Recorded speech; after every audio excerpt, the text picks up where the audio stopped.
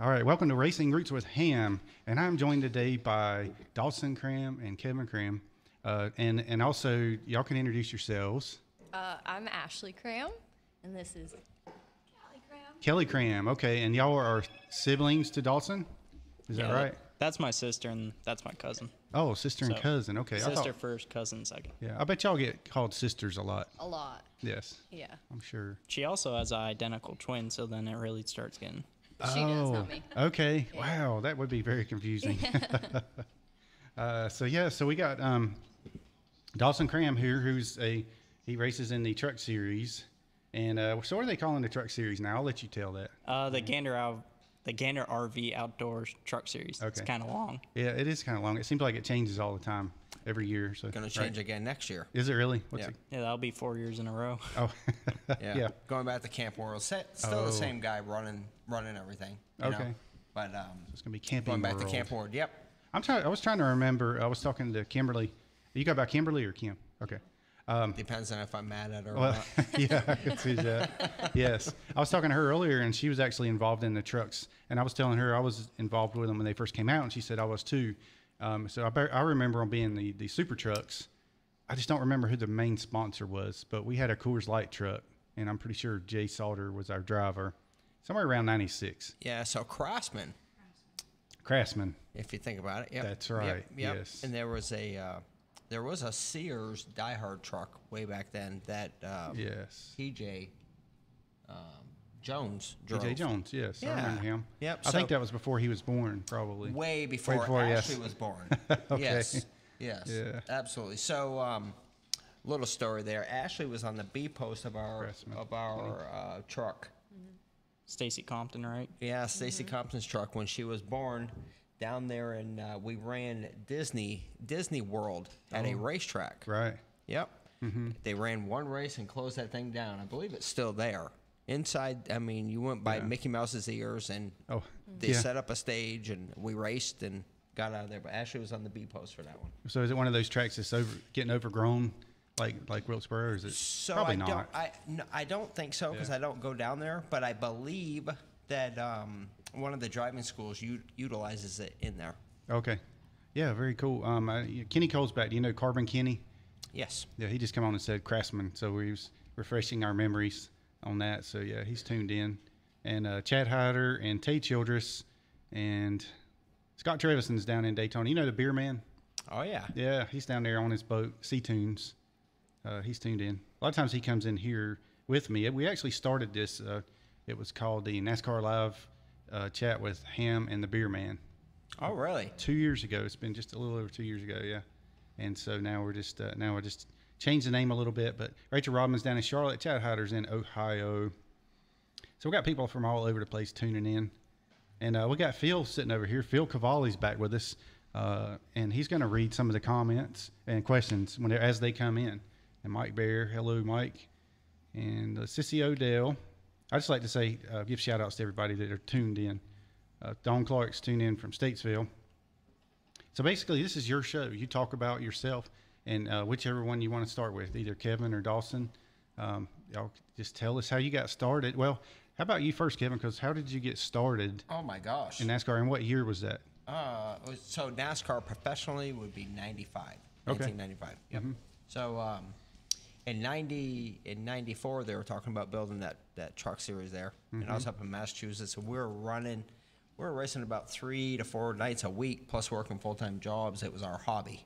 You know, we're still racing a, a ton. So we would go to work to rest.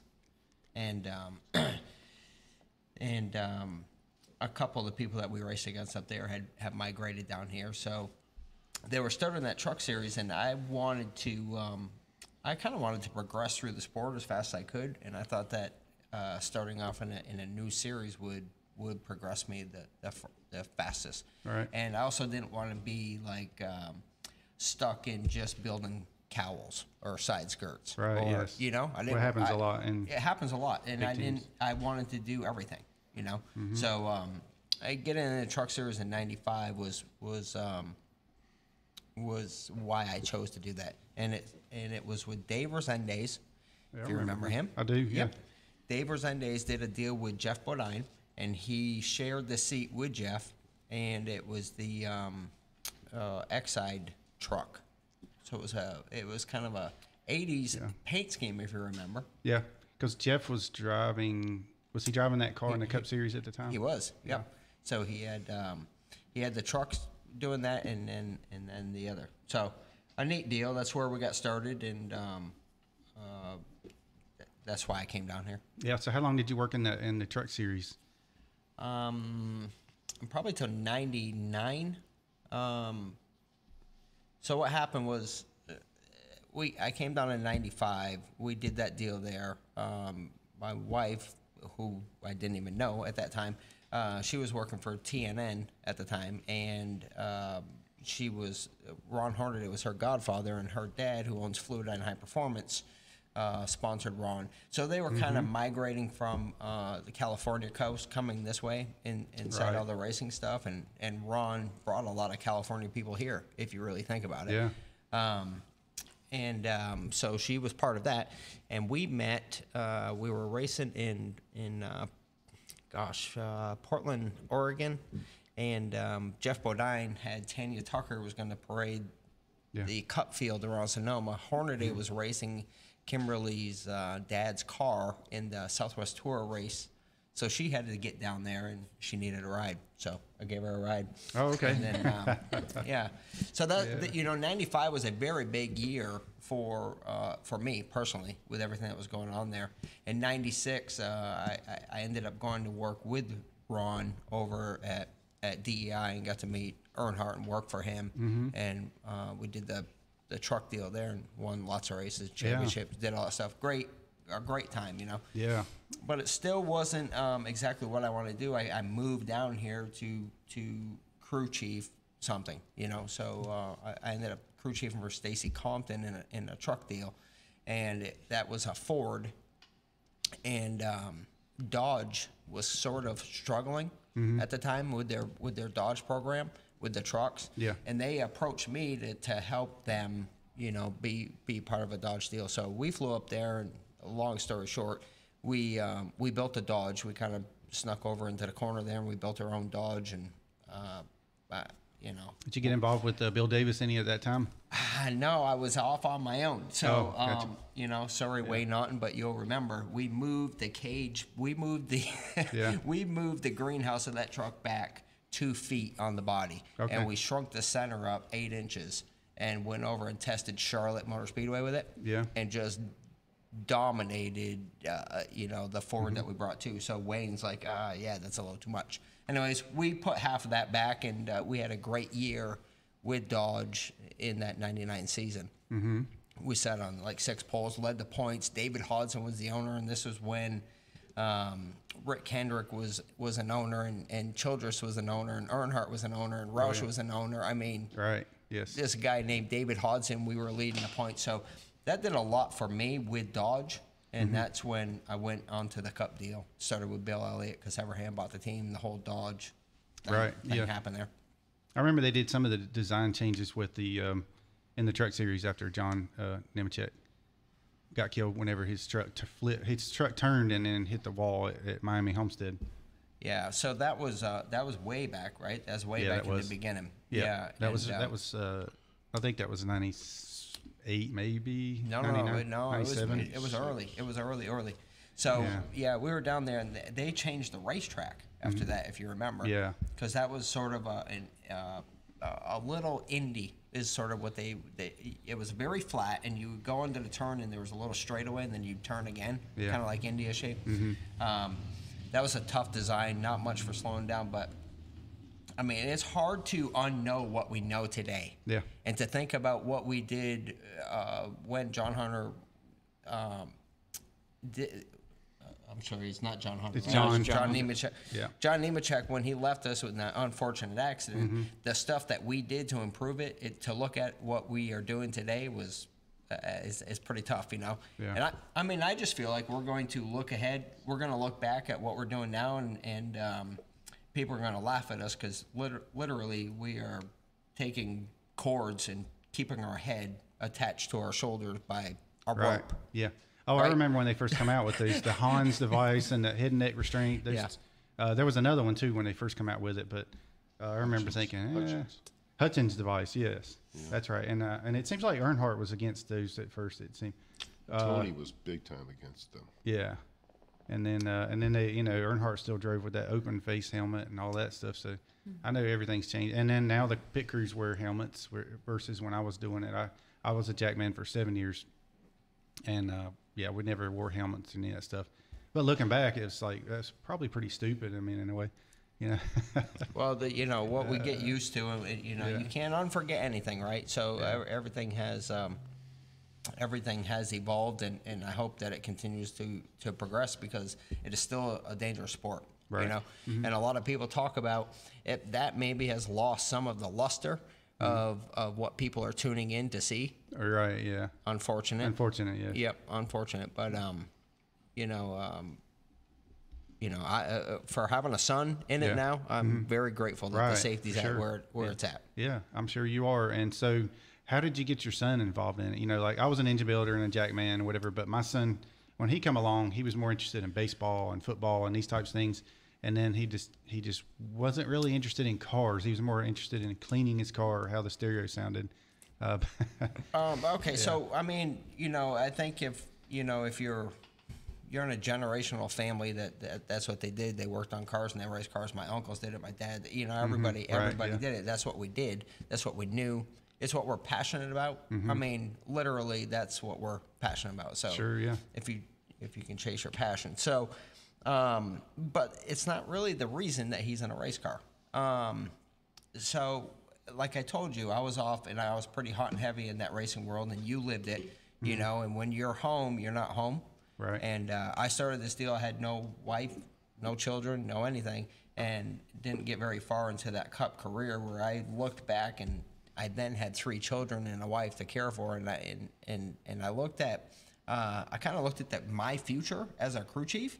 I didn't look that far ahead back when I was younger, Mm-hmm. Yeah. and I looked forward and I was like, okay, so I'm either going to do TV stuff or uh, I mean, what else is there? Work in the parts room. Yeah. I mean, that's you know, there's there's not much for those guys in that era to move on to. right. You know, so you're you're completely focused on it, and and I saw that, and I wasn't willing to continue to go down that path. So uh, we decided to do something different. We moved to San Diego, California, and my wife was home raising these three children. She had uh, three car seats across the Durango, Oh, wow. which Durango was part of that whole Dodge package. So you are which was close in age, I guess. very close in age. Oh, wow. And um, so they they were raising themselves, but the daughter, my daughters, were taking care of the little boy here, and um, and I really got to know them better because I wasn't racing and we were driving across the country. And I, but I noticed I was tuned into. They would ask Dawson a question before he could finish it. They would answer his question for him. So he's sitting over there. He's oh. got it made Yes. he had it made. He was mama's boy. I mean, Ashley, poor little girl, she was dumped into preschool when she was like two, and Dawson wasn't allowed to go to preschool until he was like five or six. So the makeup was a little different. Yeah, Anyways, I, stuffed him into a race car out there because he he had to do it. yeah. Okay, I he see. was going to have to learn. It it was a way for independence Yes. you know, and Mm-hmm. make him become a, a, a person and have to do it, and no one could do it for him Yeah. and that's what that's what started it. And then he wouldn't let it go, so we continued with it. Yeah. So Dawson, how old were you when you started driving? And, Five when I started really racing. Yeah. I think I was five. okay. And what did you start on? Uh, I started on dirt in a mini Dwarf. I don't know if you know what that is. A mini Dwarf. I don't think I've heard of that. You know what a Dwarf car is? Uh, is that the one that's with the uh, the the? Uh, is it like you race at Millbridge? Or no? no? those are Okay. the those are the outlaw carts. Yes. But uh, you obviously know what a legend car is, right? right. Yes. So a Dwarf car is kind of like a legend car with no rules. They got like a Oh. metal body and they have a unlimited motor, but they're all four cylinders. oh, okay. So the legend cars run uh, inline four or inline 3 Mm-hmm. and the uh, Dwarf cars all run inline fours, but it's kind of open. Okay. Yep. So speaking of Millbridge, you did race some out there, right? Yep. Okay. Yep. I ran there for two or three years on a factory deal with uh, SKE. I was their factory driver. I was running asphalt stuff, bandos. I think I was just in bandos when I started on back into dirt. Okay. But um, Cal Beatty owned Legend Cars and Bandoleros, and he kind of approached me and him because he has, you know, a sense for setting up race cars and building them. Well, he was starting to build these outlaw carts. He bought a company from a guy from out in California and wanted to keep building the chassis and get into the dirt a little bit. And they were kind of struggling a little bit. So he brought me in and we kind of struggled a little bit, but that was kind of the point was to grow the business and the company. So then we started winning a little bit, and then we started selling the cars out of Victory Lane. So like every week we would build a new car throughout the week. I'd right. show up, get in it.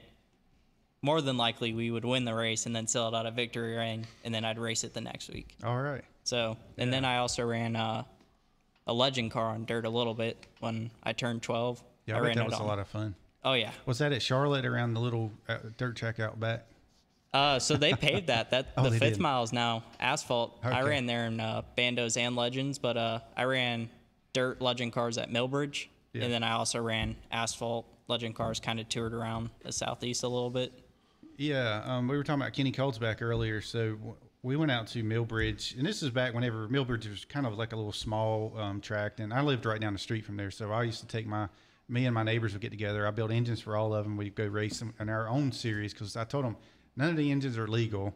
I mean, I do everything I can, and I make mine a little bit better. But anyway, we go race. So um, and they call it the Outlaw Division. Mm-hmm. But Kenny, one time we went out there. We went out there with I don't know if Kenny was with me. We went with the Evernhams, and we just kind of like went on a weekend where they wasn't, or maybe it was a Sunday, and we just went out there and just like uh, took over the track and practiced and run and stuff. And Kenny come out there with a shifter cart, and he it's like a 250 shifter cart or a 500. I don't even remember. He can probably answer. And uh, he hooked his laptop to it, and I mean, he was tuning the thing and doing all this stuff, you know. And then that's whenever I figured out, you know what, they could actually run faster cars, or not cars, but faster, you know, sprint cars and things like that in that track, or little mini sprints. It is whatever. Yeah, they're starting to run uh, micro sprints there now too, so they're a little bit bigger. Mm-hmm. They got the motor up front, but uh, it's crazy how much that track has grown. They've done a really good job over there. It's got like a gigantic Race World USA with a sprint car on top of it up Oh there. wow! And I'm gonna have to go back out there and see it. I remember having the little drivers meetings. I bet they've changed quite a bit over, What the, year was the that years. you were out there? It was uh, gosh, what year was that? Uh, Kenny, he says Sunday at 250. It was a Sunday and it was a 250. Yeah, um, I would. I'm guessing probably 97 thereabouts. Yeah. so I wasn't Uh, even born. Yes, right before you were born. Yeah. And I've got a video on a VHS tape of me racing around there. So you know what that Yeah. is, right? It's Yeah, not an A yeah. track. You know what A track is? How That's many- how you play music, right? Right, right, Yeah. yes. But how many tracks are on a track? Anyway, that's I'm just kidding. That's another story. All right, so so um, t- tell me about the rest of your story. How you you know you got in and you're racing those, and then So, um, like I said earlier, I started five in a mini Dwarf. So, it, I think I kind of misled what I was saying earlier. Mini Dwarf is a tiny Dwarf car, so it's tiny legend car. They got like a little, you know, the little clone motors or Predator motors, a little five horsepower motor. yes, I do. So it had one of those in it, and it had a full roll cage, so it was safer. And I ran those out there until I was probably about 7 on the West Coast, and then we moved back out here to North Carolina. And about that time, we tried to get the mini Dwarf started around here on the dirt track, and that's actually the first time I went to Millbridge. Was I tested one of those, went up to Woodleaf, Okay. but we couldn't really get it started, and then we built a uh, dirt track behind our shop in Troutman. There you go. So we ran it back there, and then Yeah. they're kind of like, well, he needs to keep racing. So they put me into a Bandolero, and I ran those until, you know, I was 12. And during that time, I started getting into the dirt stuff and went into dirt legend cars and asphalt legend cars, ran road courses and like quarter mile ovals. I think the biggest track we went to was like at three eighths. Yeah. We used to go to three eighths miles like Hickory and Orange County and a Bandolero, and we'd bump draft. Oh, wow. Because Nice. they'd have a restrictor plate on them. You'd just be to the floor, and we'd uh, bump draft with them. We actually had the track record still up at Langley. yeah. Was was that fun to do that? I mean, was that the? Did you have more fun doing that, or?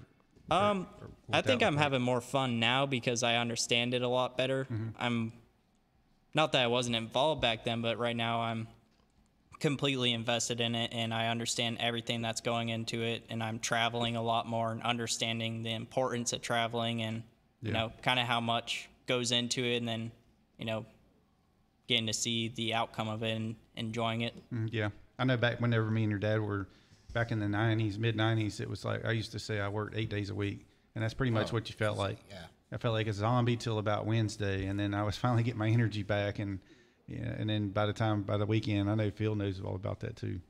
Uh, going to the track is just wear you out, but Yeah, it's a tough. It's a tough. It's a tough sport, you know, and it, it- will eat you up and, and, and spit you out if you don't. Um, if you're not able to, to, to bring the right people in, Yeah. you know, and take some of that load.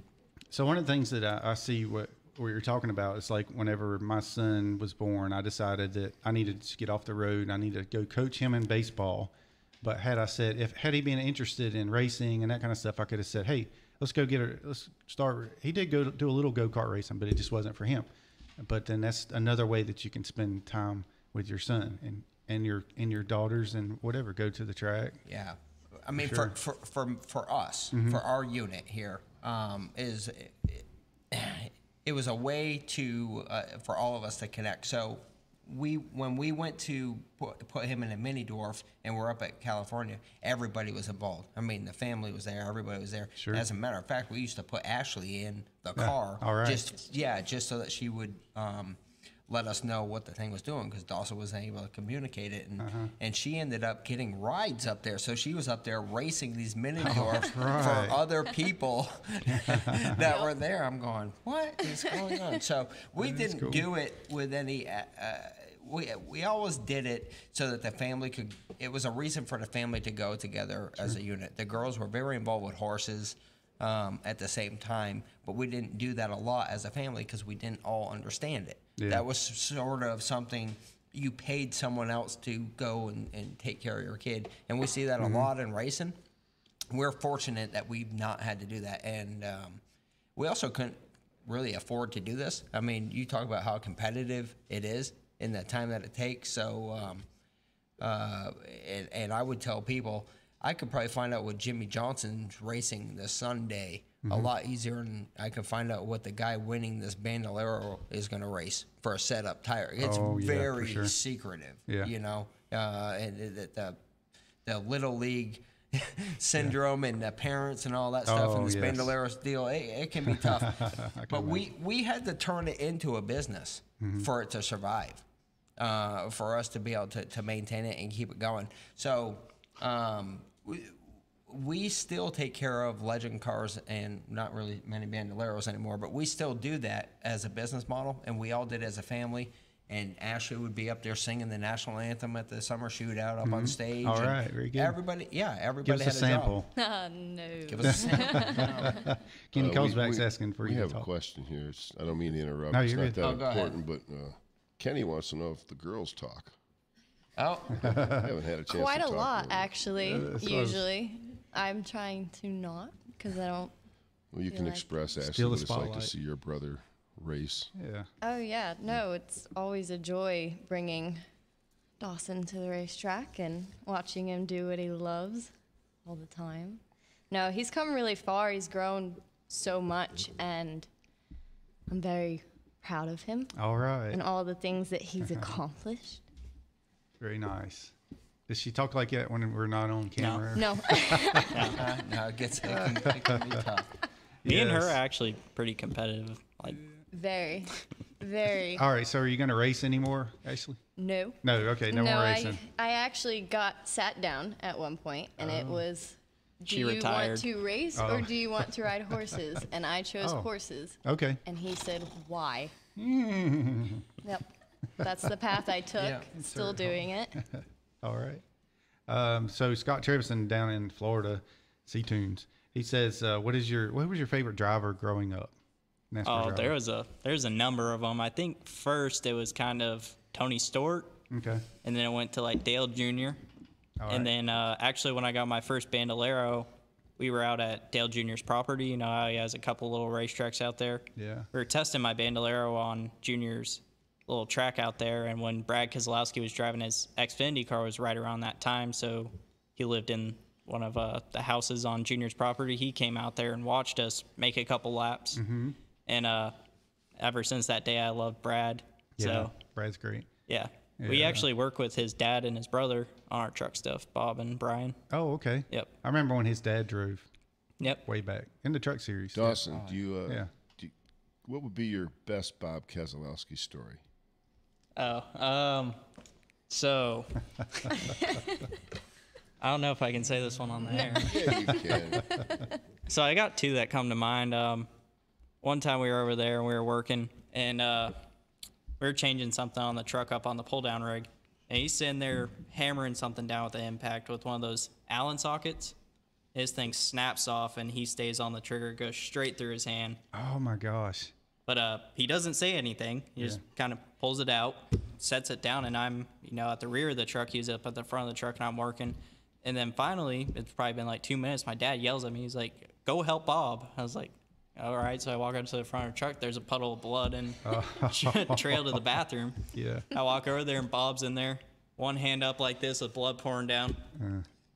Like just calm, just rummaging through the bathroom cabinets looking for band aids. Oh well. And then I sat there and patched him up. If I had to go help somebody like that, they would be helping me next.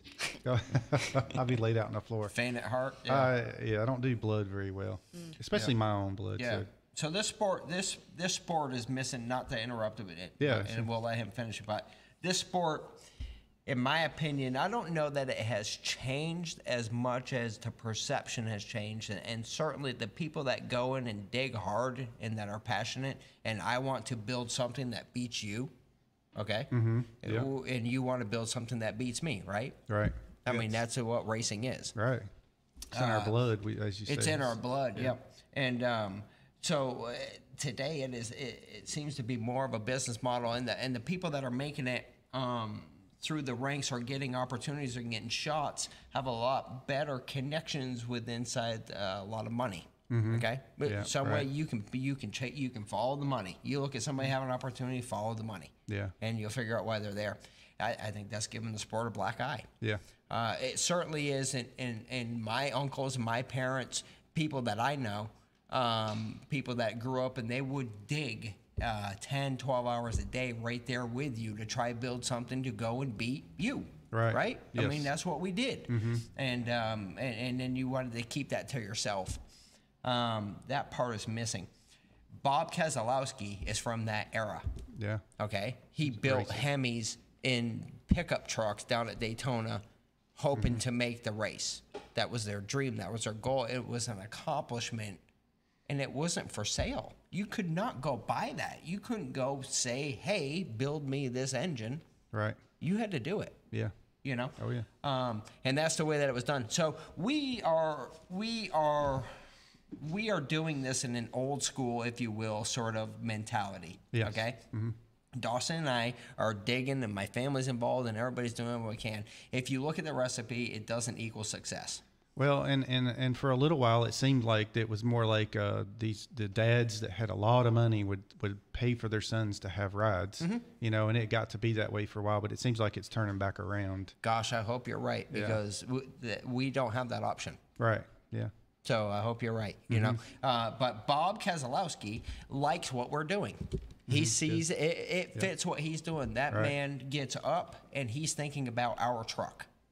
Yes. He stops by and he's thinking about our truck. That's great. So Good to have this him on your has this has yeah this has breathed a lot of life back into him and uh, it's it's raised it, you know I can just see the pep in the step. Yeah. Lo- love the guy. Anyways, um, Dawson, tell your second favorite story 'cause it's pretty funny. So is that why you're like uh, DK and he's BK? yeah, yeah, yeah, yeah, yeah. yeah. so, yeah. So, um, I don't know if you've ever been to their shop, but you go in and there's a pull down on the right, and then a surface play right there, and then they're they have an office in the center. And uh, so I went down there and I went to go pick up a spring or something like that. I walk into the I'm walking around the shop and I saw Bob's truck outside. I'm like, "Where's Bob?" So finally, I decide I'm gonna walk into their office, and I've never been inside their office ever because they don't really use it. They're just racers that work inside the shop. They Right. don't really use their office. But um, so I walk.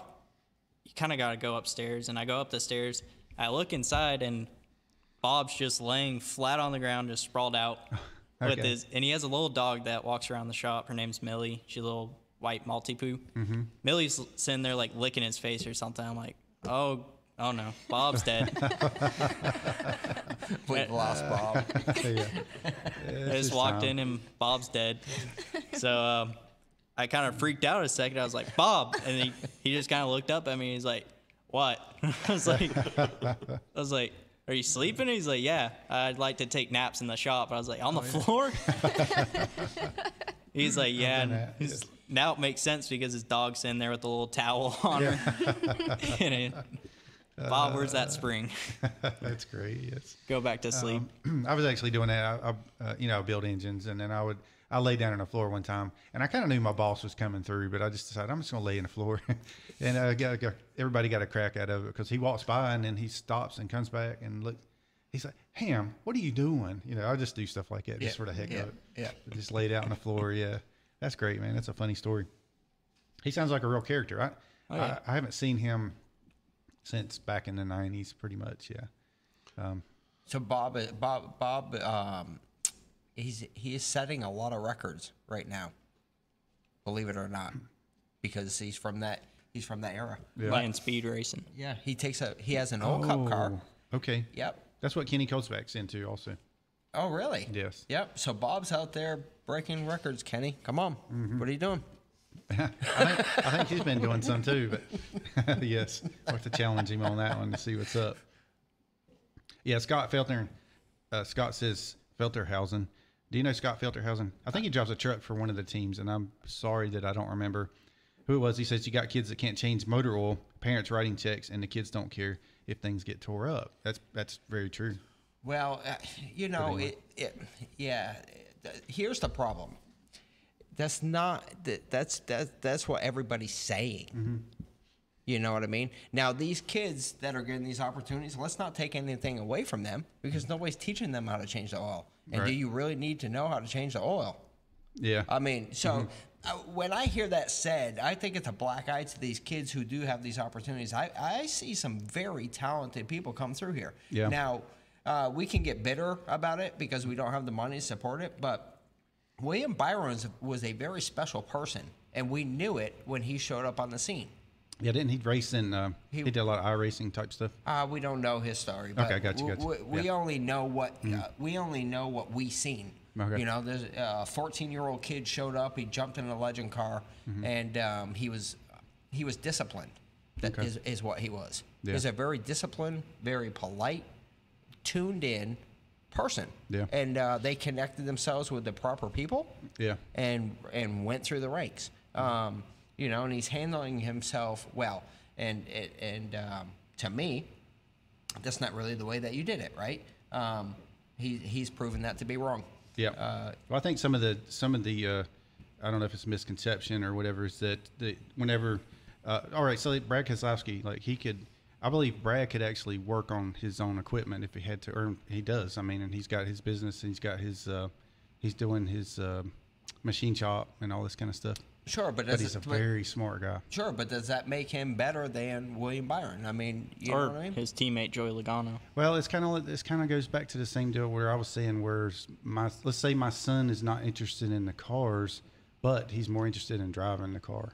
So yeah, I could see that too as being a thing. Here's here's what I want to change a perspective of, if we can. We'll just stay Sure. out one more 2nd because I think it's important. I think it's important that uh, the next generation coming up, people that are going to tune into Dawson's and and, and, and, and the William Byron's, ever this next generation, I think that we need to know what it is that will inspire them. Um, let them know that they have a shot, and let them know that um, hard work and dedication does pay off. And it's not just full of people, uh, rich kids um, that can't change their oil, right? The, Okay. the, the place is changing. Fair enough. Uh, Kenny says 481 mile an hour speed demon. Is that a record? That's what um, I believe so because he sent me a video and the lady's just like, like she's just she's reading out the numbers and then it just keeps on going and keeps on going. So I believe Bob's doesn't have wings. I mean, his stays, it stays Yeah. on the ground. Yeah, his. I, I remember seeing a picture of it. It's like mostly all carbon fiber. It looked like a real car. Yeah. Oh, I mean, that's amazing. It's like going the speed of an airplane That's incredible. on the ground. I don't know that that's safe. Uh, Kenny's kind of like crazy, uh, crazy bad. He goes, he gets into all this stuff. That just like I said, that brings the go kart out there. And I've got my little five horsepower Briggs engine. That was before the Predator type deal. And then um, you know I'm putting around, and then he comes out there with that 250 shifter cart with the computer he can plug to it and tune it in. I'm like, man, okay, then take it to the next level. And I actually had a friend that brought a sprint car, a mini sprint, and I think it, it was too big for that track though. Yeah, they got like 450s that are fuel injected in them now, Okay. and uh, they ran like two stroke 500s when I ran them. Yeah. All right. So we got a Steve Baker. He says, I feel you need to pay a little dues to earn your ride. And I know we talk about drivers like William Byron, who probably doesn't work on his car as much as you do. But Dawson, now that you've got your own team, you have your own team. Let everybody know what it's like to work on that truck every day and how how it feels to maybe have have to work on it after you wreck it at Talladega and get caught up in a wreck that you can't Yeah. you know, do much about. Ah, your back hurts. Sure. Yeah. Your back hurts when you sit on the ground and you have to pull that thing apart, and then every time you look at it, it hurts a little bit more, and then Is your pocket starts to hurt. Yeah. Your pocket After. hurts too. So is that something whenever you're driving, you're like, okay, I better uh, take this, take it easy on this thing, cause No. okay, because I'm gonna end up working on it. But that's good though. I All mean, that's- there's certain discipline you have to have, Mm-hmm. and this was I felt like it was even more when I was driving for other people was to take care of the equipment. I'm not going to go far if I keep tearing stuff up. Mm-hmm. Sure. Unfortunately, for the past like three weeks, we've had a little bit of bad luck, but only one of them I could really tie to myself. Like Talladega, that was just it's Talladega. It's kind of how it happens. You know, they Yes. Mm-hmm. started wrecking. Someone threw a stupid block. They started wrecking. We got caught up in it. Yeah. Killed a truck. But um, being an owner kind of opens your eyes because you kind of see all different sides of the sport. And I don't know if I'm really, you know, an owner owner. Mm-hmm. I mean, I'm not. well, I'm not Roger Penske. right. I'm more like a. I'm not even Josh Reaume. Uh, who? Josh Reaume. Come on. You gotta know. You gotta know the African squirrel. that's that right. But Yeah. the, the neat thing, though, is that um, Bob Keselowski ran K Automotive and ran his own race team. Yeah. And, you know, that's uh, this this is an old school mentality. Yeah. Well, uh, you're starting. He's starting young though. I mean, and you learn as you go. And in another 20 years or whatever, you, if you're still doing it, and and then you could be a, another Roger Penske. I mean, or whatever you want to be. I mean, that's the whole thing too. The sky's the limit. If you don't want to be, then you just want to keep racing. I mean, it's whatever you want it to be. Um, uh, Kenny Kozelback said the fastest piston car in the world. Yes, it's a record. Did I read it? Uh, 60 passes over 400. Yes. Um, and then Scott Trevson's asking, how do we follow Dawson's racing career? And are you going to run the full truck season next year?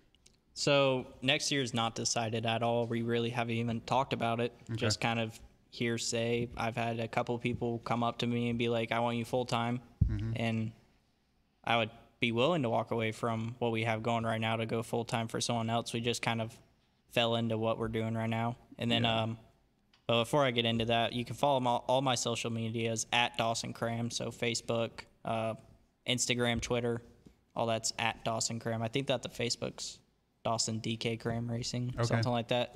But um, or you can just Google my name, And what's the DK for? uh, Dawson Kevin. Kevin. Okay. Yeah. Got you. So his name and it's also my middle name, Okay. Well, very cool. Makes sense. Um, or Donkey Kong. uh, there you go. All right. So, um, go ahead, Phil. In honor of the beer man, he would normally ask a Yeah. question to Yes. maybe Dawson. You wouldn't have any answer to that, and uh, but we're going to ask Kevin what would be your best Dale Earnhardt Senior story. Um, depends on if you want it to be a mushy one or a good one. Um, my favorite time uh, as a family was uh, Kimberly and I were engaged. We were at the um, we were at the uh, reception for the Oh, I've heard championship. this one. You can't swear on this. and um, he he sat down between Kimberly and I and put his arms around us and and uh, said, "Look, I've been married three times, and uh, give you a word of advice." And he uh, and I'm not going to share the advice, but uh, but we. Um, you know, a very special moment because it was heartfelt and it was. I don't think that there was many times that you got to uh, have his undivided attention where he actually showed that he cared. I, I mean, I didn't. Sure. You know that often. I thought that was a great special time because it was genuine and it was just. It, it wasn't my idol because he he was. Yeah. The man was my idol. He wasn't my idol sitting there. He was a friend. Uh, that was a friend moment. That was a good. That was a good time. I've got a lot of neat stories, but so the truck series came out with this stupid rule I say it's stupid. Sorry, Wayne. But um, they came out with a rule to trying to limit uh, how many tires you could bring, and obviously, uh, the, the top teams like Earnhardt, uh, we'd bring as many tires as we could fit into the hauler. Right. And um, so they they they wouldn't let us bring new tires. We had to bring tires with the stickers being they're called scuffs. So the sticker had to be gone, and you couldn't just peel it off. So we had to do something. So we decided that I would put the tires on Hornaday's truck and back down by Earnhardt's chicken coops because he had like all these chicken coops. He sold the Tyson and all them guys. Yeah. And I was down there just doing a little burnout. I mean, not like smoke show like kids do on the side. I was just kind of burning the back, the, the stickers off them. Then Yeah, right. the pit crew was set up there, and I would go up and they put the fronts on the rear and back it back down. Well, he come flying up, and he was raising Cain Mm-hmm. until he understood why we were doing it.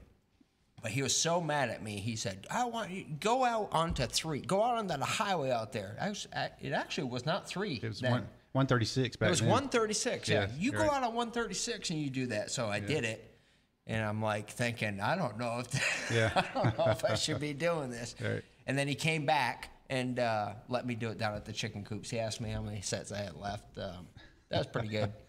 Uh, you're laying down some rubber for him. Uh, well, I mean, mean, it was yeah. all in the good for the team, but he was not happy when he showed up and we were filling his chicken coops with, with tire smoke. Yeah, sure.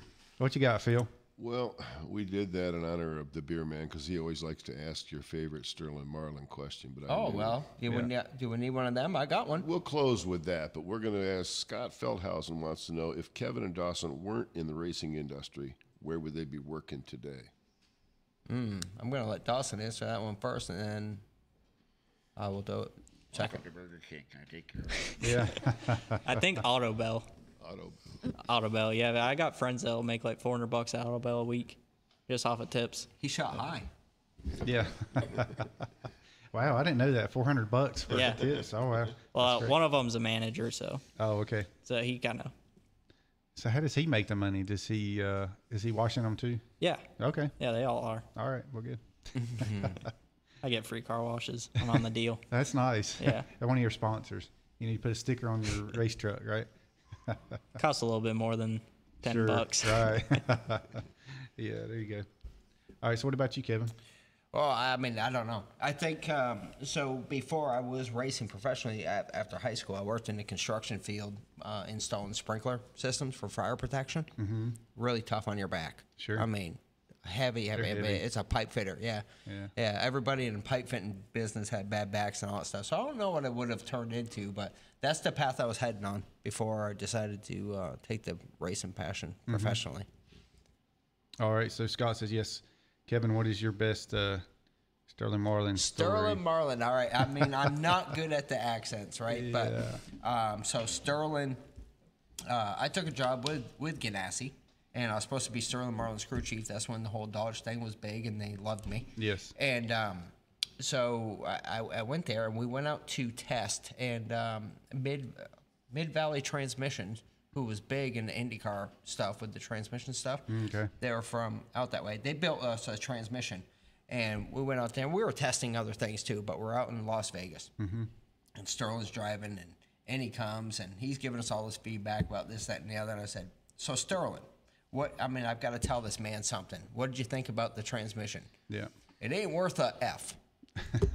I'm like, okay, well, I might have to give him more than that, Sterling. what is it that we don't like about it? And he says, well, I pretty much grew up with the others. I'm like, and that so to interpret that, Yeah. he pretty much grew up driving other style of transmissions. So in his mind, it wasn't worth the time of day. So Yeah. that's my Sterling Marlin. I know one of his uh, one of his first sponsors, and I got the postcard. It says Hesco transmissions on the side of a, of his car from from way back. Um, I know one time he well he was telling me that well I was his jackman for several years, and he was telling me he had some books for me. I got some books for him. I'll bring them. And then so I think we were at Darlington or somewhere, and he yeah he forgot them one week at, at Rockingham or something, and so he said I'm gonna bring those books for you. And so I was like, so he gives me a bullet, and I'm like. I thought you said you had some books. I was trying to figure this out. But it was a, uh, yeah, man. But you know how his accent Oh, is. yes. Yes, uh, sir. It was uh, actually we got some Civil War bullets sitting around here. And I was going to show you. That's exactly what he gave me. But it still had like the casing on it. Yeah, that right there. And uh, mini ball or whatever it's called. And so he, he gave me uh, that, and he gave me a little uh, a little Confederate soldier, a little figure, and uh, so that was very cool. Very So, nice of him. so to- do you guys think? Just think about the characters. Mm-hmm. You- Do you think that's missing today? Uh, I- I've been saying that for many years. That yeah. and I know uh, Phil could definitely agree. I think we actually talked about that some when he was on a couple weeks ago. Um, definitely missing, and, and and part of that too. I think uh, NASCAR started putting the you know putting the block on if the if the driver got out of the car and he was mad and he's on TV and he's saying things. You know, back in the day, they would lose their cool and they would go after each other and they would do it on the track and all this kind of stuff and and it seems like the fans will get really fired up about that. You know, the stands would go crazy, you know, with all this stuff. But but then they started finding drivers like here's fifty thousand dollars because of what you said in that interview, and I think it, a lot of the drivers uh, decided, well, I'm just not going to say anything. You know, I mean, I mean, really, I mean, do you have to look very far to not see the same makeup driver? And and, and again, we look back at, at and I don't want to make anybody mad, but, but I'm gonna. So you you look back and, and you see everybody show up and they drive for the same team and all that stuff and the same the same color car and all that stuff and their uniforms all fit perfect and their hairs are all cut the same. Uh, Am I right or Right. wrong? Yeah. They give the same interview. They use the same playbook. Yeah. They it's so Cookie cutter. Cookie cutter Right. racetracks didn't work. Cookie cutter drivers ain't gonna work. Right. I mean, we need some Ward Burtons and some Sterling Marlins, and we need some Rick Mast, and we Yes. need some. Come on, Yeah, that's- some Dawson Cram. Yes. Flavor, some flavor. Well, Dawson's got to be his own person That's for it. sure. as There much as And, um, as much as some of the people don't like Kyle Busch, he adds a different. He's a different spice in the mix. you Sure, know? but I mean, mean- he owns it and he, he he earns it every week. But you know, He does, but he's one of the very few characters, and I don't know that Kyle's being himself anymore. Sorry, sorry, Kyle. I don't think you are. right? I, I agree with that for sure. I think he's been, you know, molded to y- you be this. Yeah. Eh, Um, and then there's been other drivers that have had to, to be molded. I mean, Tony Stewart was one. Now he would lose his temper, but he had to go through, you know, the whole uh, what was it they put him through? Phil back in the day, uh, uh, sensitivity training or something. sensitivity training. Yeah, It was something like that. So yeah, So, so look at, I mean, let's look at what people really tune into, right? Have- Yes. Have you watched that crazy Irishman that's an MMA fighter? okay. Conor Y- McGregor. yes, I have. Yes, Conor McGregor, yes. who hasn't? Right, and his personality. Is How just about like Muhammad Ali? Yeah. Right. Yep. I mean, come, uh, come on. Um, I know These that's what uh. Steve Baker was just saying. Let's let them fight. Well, Chad's saying let them fight, but then uh, Steve said about the WWE, and I've been saying that too. Like you know, WWE, the wrestling has a huge following. And they still. do. I know this NASCAR's not wrestling, but it's still it's exciting, and people want to see that. Right. You know. Right. There's a lot of things that can be done, but I, I just, you know, I, I don't know that you can create it. I don't think that NASCAR has to get involved or uninvolved to Mm-hmm. create this. I just think that, um, you know, it's changing, and I and I hope that it changes back to where people can identify with the people that are coming up through, except for it, it instead of the people that can afford it. Does that yeah. make sense? Yeah. Yeah. Yeah. It hard does. for me to identify for somebody who can go write a check Yeah. for millions and million millions of dollars Oh, every yeah. single year. Absolutely. uh, to get a shot. And that's the thing about it. There's so many different personalities in this world, and if you have cookie cutter drivers, they're all the same. Then they're only going to fit with this certain class of people. These this are not necessarily class meaning, you know, rich people or whatever, but just saying you need someone to fit. Like every or Earnhardt, he had his fan base. He had the fan that either you liked him or you didn't.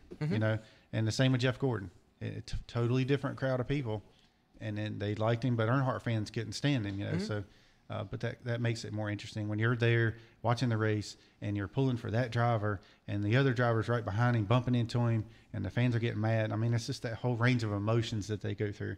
And Scott Trebson says anger management. That's what it was. He had that to go Tony through Stewart had to go through. uh, Yeah, anger management. he was pretty tough though. Oh, at- yeah, at he that was. time where For know. sure. Now, so Dawson, where else are you going to run this year? Uh, I'll finish out the season. So Kansas this weekend, then we'll go to Texas, Martinsville, and then Phoenix.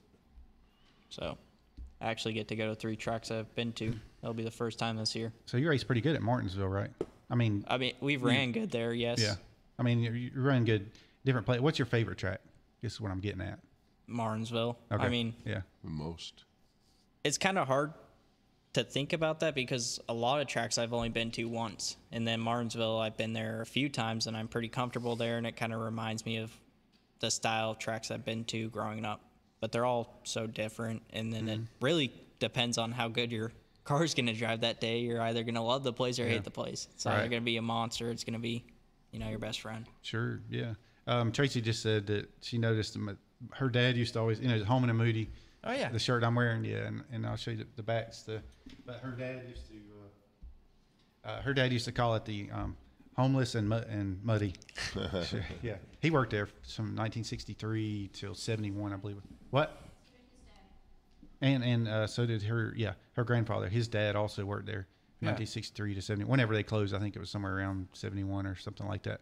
So I, mean, if you follow the heritage or you follow the Holman the movie, Mm-hmm. and, and it's, ha- I mean, really, kids, that that right there is why we live in Charlotte. I mean, Yeah. Didn't that- they come out with the first roll cage for NASCAR? I don't know about that, but Yeah, I'm not sure if it came was out with a lot of it- firsts, but they they, probably they're the reason that the hub is here in Charlotte. Mm-hmm. Um, and and uh, they gave, if you follow back, it just pick somebody, pick a Robert Yates or pick, pick somebody, and follow them back. They were at Holman Moody at at some point. Right. Yeah. Absolutely. Were I was um, I was born about two miles from Charlotte Motor Speedway, and I don't remember it, of course, but it was two. Um, I mean, I lived there for my first two years, and then we moved down beside the airport down there, Holman and Moody. So I'd ride my bicycle by there, and there was like all these other race teams down there, Kelly Arbor Motorsports, and um, a bunch of other places. But the Holman and Moody shop, you know, with all the glass and everything. But I just think it's neat. It's kind of like my those are my roots of racing. That's when it started, you know, and being born and raised there. Yes, go ahead, Phil. Scott Feldhausen wants to make himself available for you, Dawson. If you need a sign guy at Texas or Phoenix, just let him know. So, other than that, Yeah, he drives sort of some trucks. Uh, he goes the hauler, all- the yeah. hauler, yes. So we, we I need mean- a sign man every time we go to the racetrack. We are it's me and Dawson. So fill the holes, please. Oh, yeah. there you Also, go. uh, yeah. if he has anybody that can catch tires and hand second can, that'd be Or awesome. push us through Got tech. or with push real us through long tech. arms? we gotta we, we need bring help an going through orangutan. tech. yeah, maybe I should come out of retirement. I could, I could still jack the, I could jack a truck. That's one thing I never did do. I did a Winston West car uh, for Chuck Norris's son when he raced. Chuck, I, I, I Yeah. dominated a race. We cut it. We cut it five. They cut it five laps short because I dominated with Eric Norris. Oh, yeah. In 1998, out there, we Okay. Um, dominated California. It was a snooze fest. I'm thinking it was one of the years that uh, I don't even remember. It was in Phoenix. Is when I Oh, really? jacked for Eric Norris. Yes. Yeah, And- Scott says he, he hauls pit equipment, but uh, Oh, okay. Beerman wants to know if Dawson has any sponsors he wants to thank or can give support to. Uh, Magnum Contracting, they're out Mm-hmm. of about North Dakota, and they've been a huge support. Circle Track Warehouse right there in Mooresville, they've been a huge supporter in Fluidyne. Okay. And Very also, cool. we got uh, your brothers asking, how do you guys feel about the manufacturers Ford, Chevy, and Toyotas? Is there any difference other than the body wraps and any advantage in the engine department of one manufacturer over another? Who's asking? That's my David's uncle brother. Randy. Yeah. So, um, Depends on the series. He was a huge Earnhardt fan back in the Yeah, day. He even had a picture of him in his living room. so unfortunately, uh, or, or fortunate enough, uh, right now we're using uh, Ilmor has a spec engine. So, Right. But this is only in trucks, so yeah, is that what he's asking? Truck specific? Pretty much your series, I'd say. Yeah, I, I, I thought so too. So the uh, the uh, support above and, and beyond that is kind of like whoever you have rela- with uh, relationships with. So you know, for us it's Chevy, right? Yeah. And um, and Chevy uh, Chevy will help out any team. Uh, they at least provide you with the identity decals. You know, Okay. the other series. Like if I was gonna go run a Ford, I'd have to go buy them, pay for them. Strange, Yeah. strange combination. The Toyota, the Toyota deal is flooded. You know, it's almost like, um, you know, if you got a contract with Walmart, it's like your best day and your worst day ever. Yeah. Um, you know, because it's it's Walmart. I mean, you want to sell in Walmart, but uh, then you got to adhere to their demands you gotta stay there. all the time, and you got to stay there. Okay. So think about the Toyota, the Toyota seats are full. You got some very talented people just getting kicked to the curb. Yeah. That's a bad problem. Dawson, do you have any drivers that you've competed against the last couple years that you really enjoy racing or you look up to or that have helped you? Or I won't ask you if any have hindered you. So somebody that I've raced with that I there's not many that I've raced with that I really look up to, but uh, me and Sam Mayer raced together a lot in the past couple years, and I really like racing against him. Me and him kind of think alike, even though we're so different. We kind of race the same, and we got that kind of respectful driving style, and we kind of save our equipment. Same style driving, I'd say. So um, Scott, it's asking us Pilterhausen, uh, what's a good handle or way to get in touch with y'all? I guess uh, your social media is probably Yeah, um, shoot me a DM on Instagram. I'll I get to all of them pretty much. I try my best to. yeah. Do you use your same uh, handle on all your social media? Yeah, much? at Okay. Dawson Cram. There you go. Yep. That's what mine's. Mine's everything's D ham I am, and I tried to do ham I am. You know, like I do not like green eggs and ham, whatever. Uh, so like Sam I am. That's it. Exactly. Yes. For, but for me, if you want to get That was hold of me, you're going to have to call me. Yeah. Or you're going to have to come see me. I'll have to give out Multiple your phone number. And your phone number is 704. No, I'm just kidding. Yep. Uh, so, uh, but yeah, while I'm saying that, DHAM I am, hit the subscribe if you would, because every Monday night at 7.30, I have a different guest on here. So, and it's great to have you on here. But we, um, we still got a few more minutes if you want to tell uh, any more stuff you want to tell your, your fans, your friends, and um, what your go- future goals are, I guess. I don't really know if there are any goals. Just kind of see where it goes. See where it goes. Okay. Kind of. Uh, Yeah. How about Kevin's opinion on the Cup Championship this year? Uh, I mean, you know, it's been, this is horrible to say, it's been a long time since I've been a race fan. I can't even tell you who's in it. Right. So, um, I mean, it's a, it's a, I don't even know who's in Yeah. and who's out. I have no idea. I know that it doesn't mean the same thing to me as it used to. Right. Yeah, I, I'm ki- I'm with you too. I mean, yeah, and that goes into another story, but that's why I like to do the racing roots. I like to talk about the history and, Yeah. and what's Yeah. you know where how you got your start in and into racing. For Um, us, we hope it comes racing. back because we sure. are doing, you know, with Dawson, we're doing the old school mentalities, all that we Mm-hmm. know, and it's the only opportunity Dawson has. Yeah. You know, Mm-hmm. he talked about a lot of people have come up to him and said, "Man, I want you to drive my stuff next year." They say that because Mm-hmm. they feel like we're tied to money. Okay. You know. Yeah. And it, and it's unfortunate. So right. we need to. Uh, we're we're going to put our heads down and we're going to exhaust uh, this opportunity that Mm-hmm. God has put into our laps. This literally fell into our laps. Yeah. Okay. And um, and one thing turns into another, turns into another, turns into another, and it's snowballing in the right direction. You know. Yeah. So Dawson's taking it a day at a time, an opportunity at a time, a race at a time. You know, he is going to be in the truck for the rest of the season, and, and what he means by that is that we're not really looking to put people in his number truck. We may have to to survive. Yeah. We may have to create those opportunities, but that's not the business model. Um, the the reality is we're going out to Kansas with one truck. There's no backup truck, and we we don't have an option for Texas. Okay. Yeah. We're going to enter the same truck, and if something happens, Mm-hmm. whether it's his fault, somebody blame whoever you want, we won't be at Texas. I don't believe, unless God has another plan. Yeah. that's that's how we're having to race. I guess you can look at it like this: You're in a race, and what is your goal? You're looking at that checkered flag, and that's what you're going for, and that's one race at a time, right? Absolutely, it's one corner at a time. I mean, I'm trying to teach Dawson to to become a person too, but you know, and he can get overwhelmed about man. If we don't finish the race at Kansas, Hmm. then we don't get to go to Texas, and then what? And and really, you've got to handle turn one, Yeah. and then right, and Right. then and then handle turn two. Yeah, one turn at a time. Okay, That's and it. then That's head right. down the backstretch, and then some other stuff's going to happen. And before you know it, you're building blocks, and things are happening, and that's you, that's how you can do all of life. You know, Yeah, you don't set sure. these unrealistic goals, and if I can't be, I'm, I, I don't know why I keep saying William Byron, but uh, Right. if we can't be William Byron, why even try? Yeah.